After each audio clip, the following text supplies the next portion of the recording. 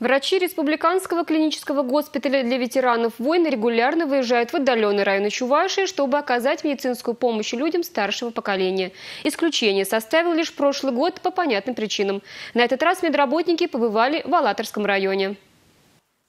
Мобильные бригады из местных районных поликлиник регулярно выезжают к пожилым людям на дом. А вот с профильными специалистами сложнее. Поэтому приезд докторов из столицы – повод проверить свое здоровье. На нашей территории сейчас проживает 412 э, данные э, пациентов, э, которые имеют данную категорию, участники Великой Отечественной войны. Ежегодно, конечно, нас курирует госпиталь ветеранов войн. В связи с пандемией в прошлом году выезда э, специалистов с госпиталя ветеранов войн не не было.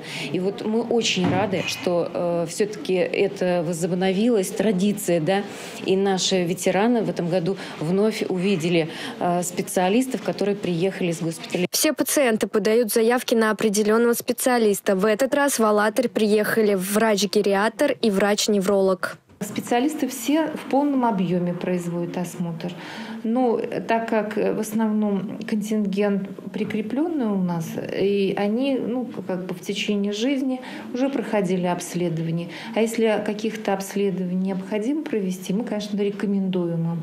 Или приглашаем уже на территорию госпиталя, или решаем на месте, например. Если человеку можно оказать медицинскую помощь, коллегам подсказываем, с чего начать и какие-то рекомендации по лечению. На прием пришли 12 жителей, у каждого своя история болезни. Личные беседы с врачом помогают скорректировать тактику лечения хронических заболеваний. Удобно очень.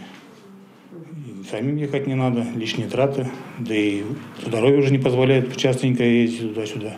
Ну, желательно, хотелось бы там побывать в госпитале, маленько поправить здоровье. Врачи узких специальностей побывали также в Порецком и Шумерлинском районах. Ольга Семенова, Виктор Степанов, Республика.